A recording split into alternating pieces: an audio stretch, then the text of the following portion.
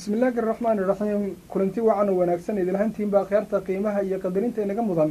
Ee dunida daafeeda inaga daawanaysa ay kuna soo dhowaada barnaamij gaar ah oon uga hadli doono sannadkii tegay iyo south africa.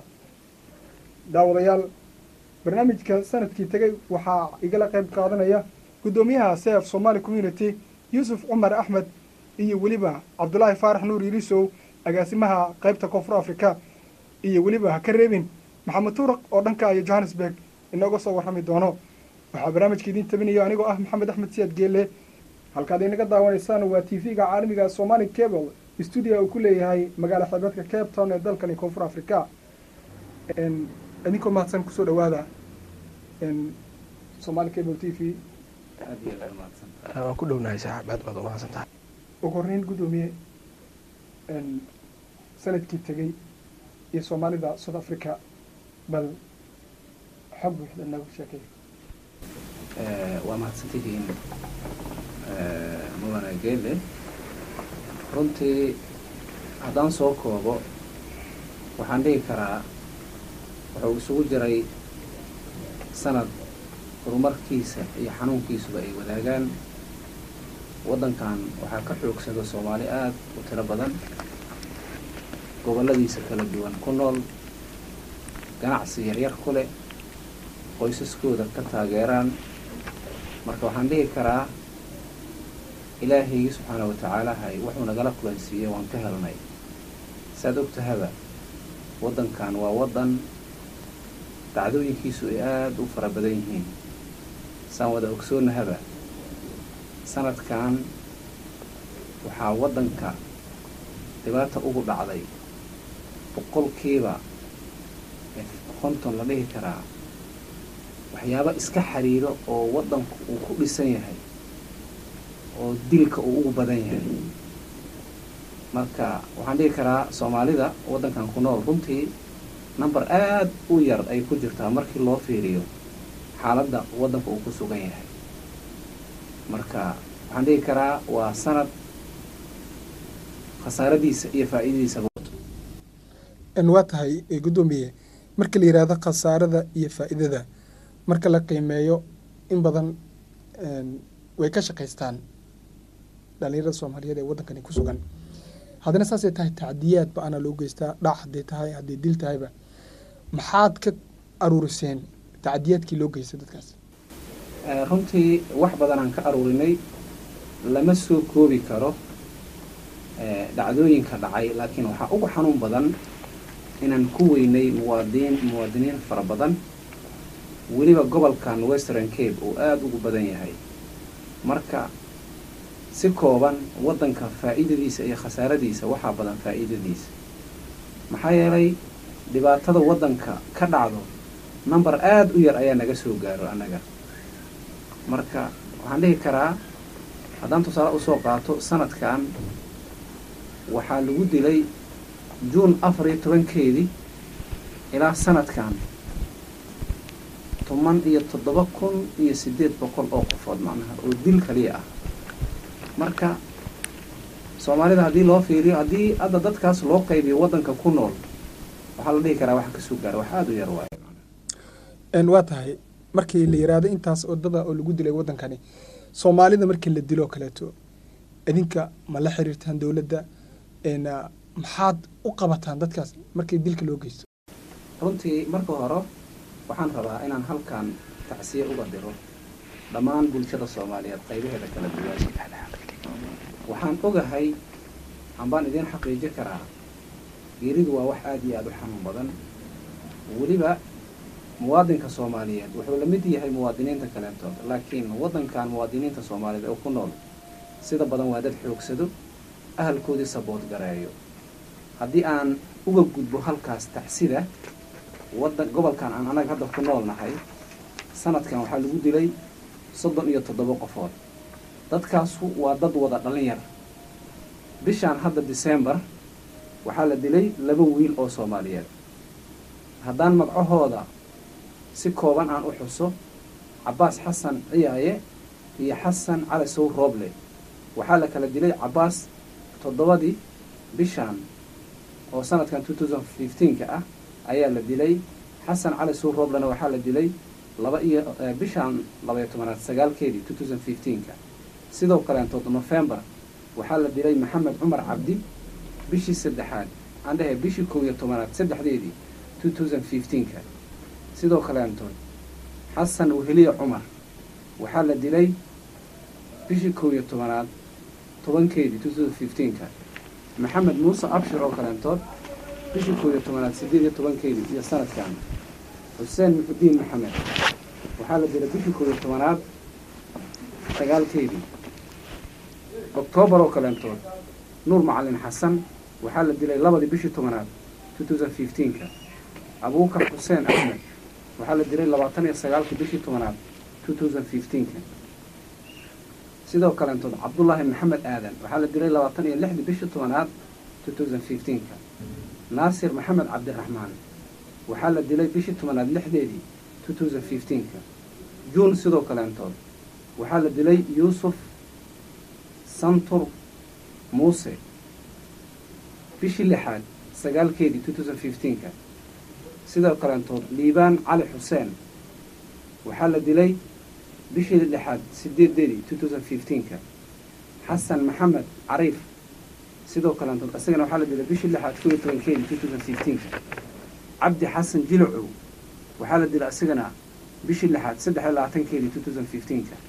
May sidoo kaleentood waxaa la dilay zakariye cabdiraxmaan axmed bishii shanaad shanteedii two thousand fifteenka.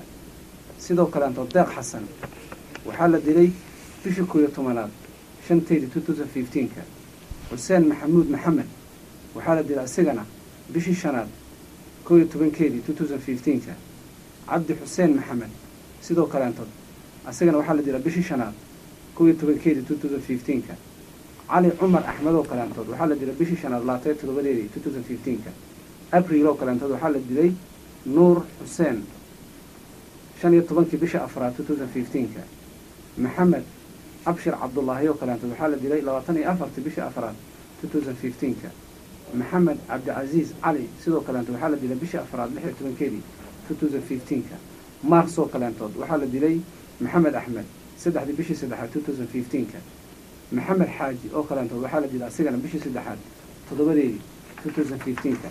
Oo kaleentood waxaa la dilay laba weyn. Cukaash maxamed cumar oo kaleentood waxaa la dilay bishii labaad shanteedii two cabdullaahi yuusuf berey oo kaleentood waxaa la dilay bishii labaad two thousand fifteenka janawari oo kaleentood waxaa la dilay wiilasha ugu badan macnaha. Maxamed siciid lix iyo tobankii bishii koowaad two thousand fifteenka anas muxudiin darwiish oo kaleentood asigana waxaa la dilay bishii koowaad labaatankeedii two thousand fifteenka cabdi tifow maxamed waxaa la dilay saddex iyo tobankii bishii koowaad two thousand fifteenka khaalid maxamed cabdi oo kaleentood asigana waxaa la dilay toddobadii bishii koowaad two thousand fifteenka muxudiin maxamed abshir asigana waxaa la dilay toddobadii bishi aan dhehe bishii toddobaad sideed iyo tobankeedii two thousand fifteenka waxaa kaleentoodoo jiro shan wiil oo iyagana sidoo kaleentood aanan weli helin shahaadadii waxa ay dhahaan deed of certificate. Waxa aan hadda aniga ka hadlaayo waa wax aan warqadahoodii iyo dukumentiyaashoodii hayo maxaa yeele wax haddii layska yidhaaho waxa suuragala sida aan u danaynayna waxaan waxaan ugu talagalnay waqti waqtiyada ka mid a in lagula xisaabtamo dowladda koonfur africa marka wax proof ah maadaama aan rabno inaan berri kula xisaabtanno inaysan dhankaynana wax qalad aysan ka imaanin. Marka runtii waxaan dhihi karaa sanad aad iyo aad u xanuun badan ayuu ahay laakiin waxaa ka badan faa'iidada. Maxaa yeelay waxaa laga yaabaa intaas oo kun oo qofood in bil kasta laga sabood gareeyo. Marka si kooban khasaaradii sanadkiina soo gaartay intaasaan dhihi karaa. Waa tahay yuusuf cumar aad baad u mahadsan tahay. Mar labaad ayaan kugu soo noqon doonaa iminkana waxaan u jalaacayaa cabdulaahi faarax nuur yirisow oo ah agaasimaha qeybta koonfur afrika. Yirisow waxaad inaga warantaa dhacdooyinkii dhacay sannadkii tegey. Waad mahadsan tahay maxamed axmed siyaad geelle. Waan ku mahad celinayaa runtii barnaamijkan qiimaha badan ee t v-ga somali cable. Qeybta koonfur africa ee iyadu xil gooniha iska saartay sida ay bulshada ula wadaagi lahayd dhacdooyinkii xanuunka badnaa ee laba kun iyo shan iyo tobanka ee ganacsatada soomaalida ah ama dadka ajaaniibta ee guud ahaanba dalka koonfur africa ku sugan ayagu maaragta loo geystay intay ku sugnaaya dalka koonfur africa asiguna waxaan u mahad celinaynaa guddoomiyaha jaalida saf somali community oo runtii barnaamijka inagala qeyb qaadanayay maaragta warqado ku qoran tahay dadkii la dilay ee gobolkan cabe lagu dilay asigana inoo soo bandhigayay aad baad u wada mahadsantihiin dhammaantiin. Runtii sidaa la socoto geela dhacdooyin fara badan. Sanadkii laba kun shan iyo tobanka eena soo dhaafay dhacdooyin fara badan ayaa ka dhacay gudaha dalka koonfur africa iyadoo dhacdooyinkaas qaarkood weli dadka ajaaniibta ah ay soomaalidu qeyb ay ka tahay maskaxdooda ay ka guuxooso dhacdooyinka weli la hilmaami la-ayaana waxaa ka mid ah sida aada la socoto dalka koonfur africa sanadkan laba kun iyo iyo tobanka dhammaanay waxaa ka dhacay dhacdooyin dadka ajaaniibta runtii ay aada maaragta u hadalhayaan ayna ka mid tahay waxaan weli lagu arag dalka koonfur africa inta badan waa la arki jiray ganacsato soomaaliya ayagoo goobahooda ganacsiga ku sugan la soo weeraro la dilo lagana qaato maaragta waxyaabihii marka ay ku ganacsanayeen walow dilalkaasi ay soo noqnoqdeen madaxda safaaradda iyo weliba dowladda koonfur africa iyaguna wax muuqda aysan weli aysan ka qaban. Inkastoo dadaalo badan ay jiraan. Haddana dhacdooyinka la yaab kala ee dalkan ka dhacay haddii aan bulshada u gudbino waxaa ka mid ah. In ay dhacday sanadkan mid ka mid a boqorada dalkan sida aadka ah maaragta looga xushmeeyo uu dadka u shaaciyey in dadka soomaalidu ay ka mid tahay ajaaniibta ah in goobahooda ganacsiga la boobo maadaama fursadaha shaqa ee dadka ajaaniibta ay gebi ahaanba ay la wareegeen dadka soomaalida ah. Taasi waxay sababtay in goobo badan oo ganacsata soomaali leeyihiin la boobo. Hanti badan ee soomaalida halkaa ay ku khasaarteen. Runtii dhacdooyinka la yaab kalaha ee dadka ajaaniibta ah ay maskaxdooda ka guuxayo ayay ka mid ahayd taas. Dhacdooyin fara badanna waa geelow aan kula wadaagi doonaa intuu barnaamijka socdo. Aad baad u mahadsan tahay waxyaabo badan oo aan haayana way jiraan. Weli dabcan guddoomiyaha nagala qayb qaadanayo khasaarihii iyo ka soo dhammaano aad baad u mahadsan tahay. Waa tahay yariso aad baad umahadsantaha waana kaaga mahad celinayaa sida quruxda badan ee dadka ugu faahfaahisay dhacdadii ka dhacday ee xanuunka badneed dalkani koonfur africa waa tahay guddoomiye adiga aan kuusoo laabanaya. Guddoomiye sidaan ognahay weli dilalkii iyo tacadiyaadkii iyo boobkii weli way socdaan. Sidee lagu xakameyn karaa? Ayaad is leedahay dhibaatooyinkaas weli ee ka jira dalka koonfur africa runtii waxaan dhihi karaa laba walxaad ayaa loogu hortegi karaa amba laba qaybood ayay ka koobnaan kartaa. Qaybta ugu muhiimsan waxay tahay in bulshada ganacsiga kule bulshada ay u imaadeen in wacyigelin la siiyo runtii arrimahaasna wax badan ayaan ka qabanay. Waxyaabaha aan u soo jooga anaan is leeyahay wax badan ayay ka bedeshay. Waxaa ka mid ah haddaan tusaale u soo qaato two thousand fourteenkii oo kale thirteenki ilaa fourteenka aan dhaho waddankaan gobolkan annaga ku noolnahay sagaashan iyo kow qofoodaa lagu dilay meesha hadda soddon iyo toddoba qofood ay tahay waa dareemi kartaa numberka dhexe marka kan ugu muhiimsan waa horta in la helo isfaham labada bulshadood ka yimaado. Runtii bulshada soomaaliyeed waa dad aada iyo aada u wanaagsan. Haddana saasay tahay waxaa la dhihi karaa waxaa ka maqan sidii ay dadka ay u yimideen. Isdhexgal ula samayn lahaayeen. Qodobka kaleentood oo lagama maarmaanka ah waxay tahay in la helo dawlad ku xisaabtanta muwaadiniinteeda. Waxaa sida badan dhacdo muwaadin soomaaliyeed ayaa dhibaato ku dhacaysaa haddana saasay tahay qof garab qof garab taagan ma leh. Waxyaabaha aan u soo jooga waxaa ka mid ah gobolkan annagu hadda ku nool nahay hadda ka hor gabar kongoliis ah ayaa dhibaatay ku dhacday. Laakiin aakhirkii waxaa dhacday dawladdu inay magdhow ka bixiso. Annagana maalin kasta ay waxaan ku weynaa dad aada iyo aada u qiimo badan oo bulshada wax ku soo kordhinaya. Marka labadaas qayboodaan u qaybi lahay iyadoo weliba ay muhiimsan tahay qaybta isdhexgalka bulshada. Ee runtii kaalin aada iyo aada muhiim ah ayaana arrimahaasaan ku bixinaa. Annaga sida badan qofka soomaaliga ah markii dhibaata ku soo dhacdo inkastoo waddanka baaxaddiisu aada u weyn tahay haddana gobolka aan ku nool nahay waxaan ku dadaalnaa meeshii dhib ka dhaco inaan koox u dirno macnaha. Eh, soomaalida gobolkan ku nool waxay u badan yihiin siddeetan iyo sideed location. Ayaa soomaalidu sida badan ay ganacsi ku leedahay.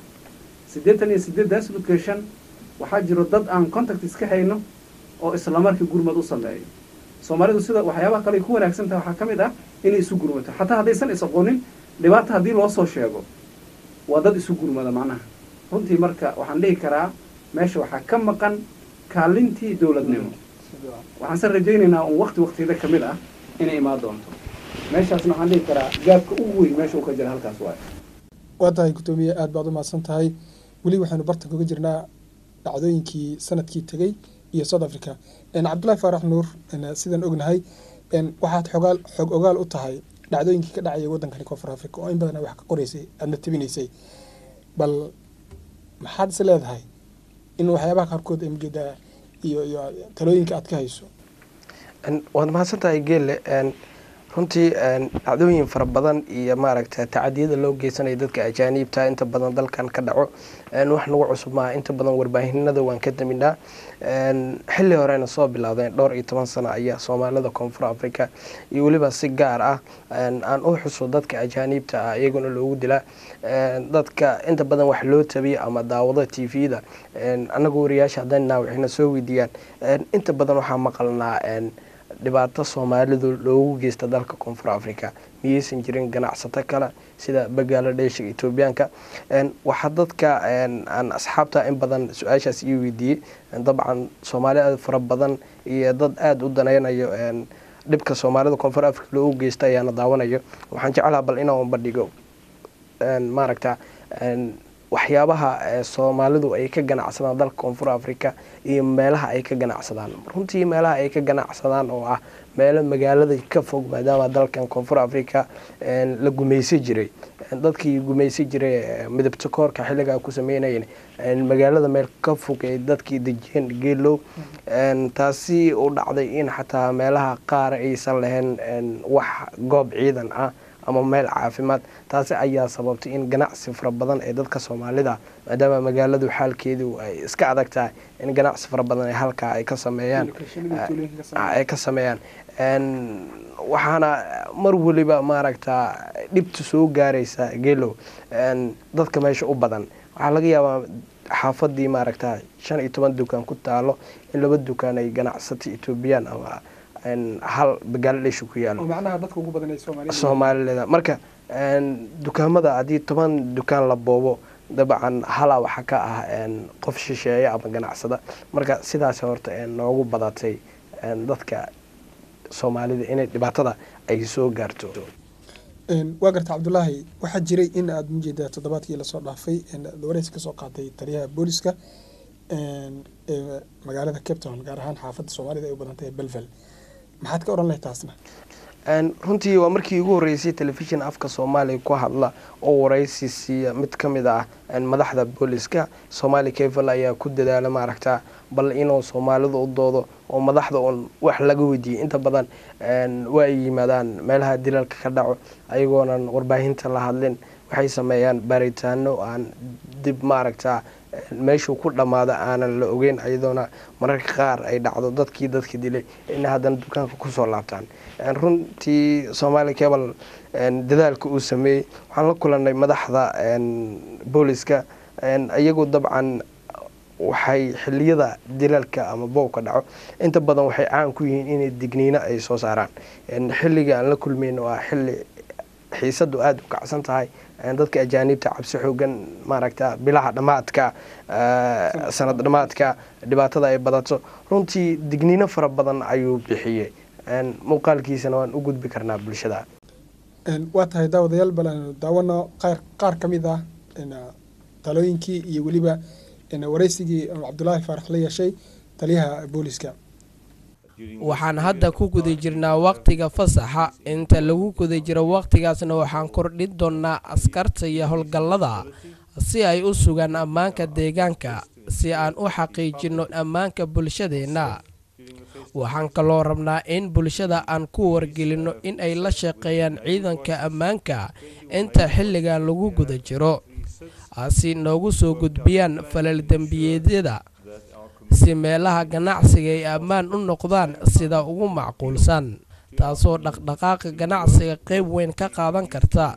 Haddii dembiyada ay bataan waxaa saameyn ay ku yeelan doonaan ganacsiga waxaana dareemi doonaa in ay yaraadaan dadka halkan yimaada ee wax ka iibsada. Waxaan codsi gaar ah u jeedinayaa bulshada ajaaniibta oo tirada ugu badan ee faras magaalada ganacsiga ku lah oo ay soomaalidu qayb weyn ka yihiin waxaan rabnaa inaan u jeedinno in la xaqiijiyo guud ahaan ammaanka xaafadda ay soomaalidu caanka ku tahay islamarkaana ay la shaqeeyaan booliska si looga wada qayb qaato.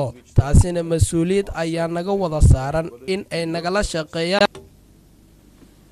Waa tahay daawad ilaa intaas aan uga gudubno. Taliyahaas iyo weliba wareysiga qiimaha badnaa. Iminkana aan u soo laabto gudoomiyaha safe somali community. Gudoomiye. Waxaa jira in aad tihiin urur soomaaliyeed oo u shaqeeya bulshada soomaaliyeed. Waxaadna noo qeexday in badan oo soomaalida ka mid a in lagu dilay wadankani koonfur africa gaar ahaan magaalo xeebedka capton sidaa hadda adigu aada noo qeexday maxaa la taaban karaa oo aada u qabateen dadkaas? Runtii awoodayna horta aada bay u xadidan tahay. Waxyaabaha iigu xanuunka badan waxaa ka mid ah soddon iyo toddobadan qofood oo la dilay dad badan oo ka mid ah aqoon ayaa loo leeyahay dadka dilay. Haddana saasay tahay wax aan anagu maanta ka qaban karno ma laha. Maxaa yeelay heerka annaga awoodaynu ma gaarsiisano inay la xisaabtanto dowladda. Meeshaan marka waxaa muhiim ah in la helo dowlad ka fikirayso dadkeeda ku xisaabtami karto muwaadiniinteeda. Mas'uuliyadda ka saaran markaas dowladda koonfur africa qofkan inay ammaankeeda sugto. Xataa hadday ammaankeeda sugi weyso waxay xaq u leedahay inay ku xisaabtanto qofka faldimbiyeedka geysatay waxaa sida badan dhaca qof local ah amba qof macnaha south africana ay qof soomaaliya ay dhibaato u geysanaysaa. Haddii marka aada adigu tiraaho war ninkan dhibaatadan ku dhacday amba qofkan geystay waa inay timaadaan la xisaabtan waxaa sida badan dhacdo oon in badanna dadka ku baraarujinaa. Qofkii waxay ku leedahay maba awoodi karaba inaan qofkan kacad goosto. Maxaa yeelay haddii hadda la xiro berrito waa la soo daynaa. Haddii la soo daayana mar kalentadu u soo dilaa waxyaabaha saameynta ugu badan igu yeeshay oon u soo jooga waxaa ka mid ah qof la leeyahay qofkan meeshaan dukaankan uu diris leeyahay hebel lagu dilay hebel lagu dilay hebel lagu dilay. Haddii la xirana waa la soo daynayaa. Dadka soomaalidana ma ku dhiiranayno wuxuu ku leeyahay inaan ganacsigii baabi'iyo waxaan ka doorbidi lahay inaan dhiiggayga ku joogo. Marka runtii waa wax aad iyo aada u xanuun badan. Haddana saasay tahay daruufta ayaa kaliftay waxaan ilaahay ka rajaynaynaa inuu dalkayna ilaahay noo xasiliyo. Dadka soomaaliyeedna daruufa meesha ku hayso. Iyo dhibaato ka dambaysa maahine. Qof ku qanacsan nolosha ay hadda ku nooshahay. Ka mid maaha soomaalida ku ganacsata koonfur africa waa tahay guddoomiye aada baad u mahadsan tahay waanu kuu soo laaban doonaa daawadayaal iminkana aynu u jaleecno dhanka iyo magaalada johannesburg. Waxaa inoo warami doono dhacdooyinkii ka dhacay gobolkaasi wariyaha ka soo warama johannesburg maxamed tuuraq. Soomaalida ku nool dalka koonfur afrika ayaa la kulma sanad kasta dhibaatooyin isugu jira dilal dhac iyo weliba boob loo geysto hantidooda. Mana jirto cid u dooda marka ay dhibaato soo wajahdo muwaadiniinta soomaaliyeed ee ku nool dalkan oo u badan dhallinyaro ganacsato ah ayaan lahayn cid u dooda waxaana dhiigoodu uu ka yahay dalka koonfur afrika mid raqiisa taasi oo sidoo kale dhiirigelisay. Burcadda south afrikaanka inay ku dhiiradaan daadinta dhiigga ganacsatada soomaaliyeed ee aysan jirin cid u dooda marka la waxyeeleeyo. Haddaba sannadkii aynu soo dhaafnay ee ayaa waxyaabihii ugu waaweynaa ee lagu xasuusan doono. Waxaa ka mid ahaa dilal iyo weliba boob xoogan oo loo geystay hantida ummadda soomaaliyeed ee dalkan south africa. Lix iyo tobankii januari waxaa gobolka limbomba lagu gubay saddex wiil oo soomaaliya waxaana isla bishaasi boob loo geystay dhowr tukaan oo ku yaalla gobolka khawtiin gaar ahaan nawaaxiga magaalada johannesburg. Halka sagaal iyo labaatankii bishii januari uu boqorka qoomiyadda zuluuga uu sheegay ereyo liddi ku ah ajaanibta waxaana wixii markaa ka dambeeyey bilowday. Boob baahsan oo loo geystay hantida ajaanibta ku nool dalkan south africa gaar ahaan gobolka kuwazulu natal waxaana rabshadahaasi waxyeelo nafeed iyo mid dhaqaalaba ay ka soo gaartay ganacsatada soomaaliyeed ee ku nool dalkan si aynu u helno xog badan oo ku saabsan dhibaatooyinkii dhacay sannadkii aynu soo dhaafnay ee laba kun iyo shan iyo toban waxaan wax ka weydiinay cumar kiyow oo ka mid a wariyaasha madaxa bannaan. Islamarkaana wax ka qora ama kaydiya dhibaatooyinka loo geysto sanad kasta soomaalida ku nool south africa. Waxaad noo sheegtay in dhibaatooyin ay ka dhacaan waddanka koonfur afrika mararka qaar.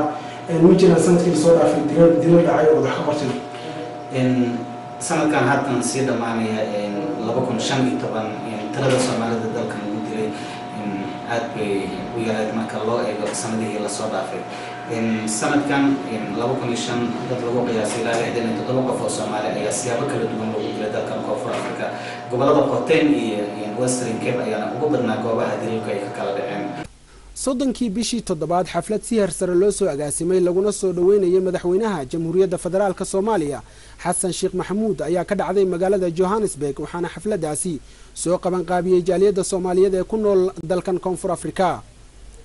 Waxaana khudbaddii madaxweynaha uu halkaasi ka jeediyey ka mid ahaa. Waxaan rabaa marka hore inaan idinkaga mahad celiyo soo dhoweynta iyo marxabaynta iyo hadalladii wanaagsanaa ee soomaalinimada iyo danaha dadka reer south africa ee soomaalida ah iyo danaha soomaaliya intaba loogaga hadlay ee halkan laga muujiyey maxaanku idhahday akhyaartii kala duwaneed ay ka hadashay aad iyo aad ayay waxay ii ahayday waxbarasha ii ahayday iyo inaan fahmo dadka dadkeenna halkan joogaa iyo xaaladooda in badan waan la soconnay dhibaatada halkan dadka ku qabsatay. Haddana waxaan la soconnaa dadka halkan deggan ee south africa ku nool ee qaybta ay ka qaataan nolosha dadweynaha soomaaliyeed iyo dalka soomaaliya dhaqaalihiisa iyo soo kabashadiisa qaybta ay ku leeyihiin aad iyo aad ayay haddana u muuqataay oo u ballaaran tahay toddobadii sebtembar waxaa koonfur afrika soo gaaray safiirka ay dowladda soomaaliya u soo magacowday dalkani jamaal maxamed barrow waxaana isla maalintaasi uu safiirku la kulmay. Jaaliyadda soomaaliyeed ee ku nool dalka koonfur afrika dhinaca kale bilihii oktoobar iyo nofembar ayaa la dilay soomaalidii ugu badnayd waxaana gobolka khawteyn lagu dilay bilahaasi. Ilaa iyo ku dhowaad shan iyo toban ruux oo soomaaliya islamarkaana siyaabo kala gedisan loogu dilay nawaaxiga magaalada johannesburg. Iyadoo afar iyo labaatankii iyo lix iyo labaatankii bishii nofembar siyaabo kala gedisan loo dilay dhowr ruux oo soomaaliya waxaana laga xusi karaa bile cabdi kuus oo lagu dilay xaafadda looli oo shan iyo labaatan kilomitir u jirta magaalada johannesburg halka isna la dilay marxuum siciid xuseen cosoble allah u naxariiste. Sagaal iyo labaatankii nofembar safiirka soomaaliya u fadhiya south africa ayaa warqadihiisa aqoonsi ee safiirnimo u gudbiyey.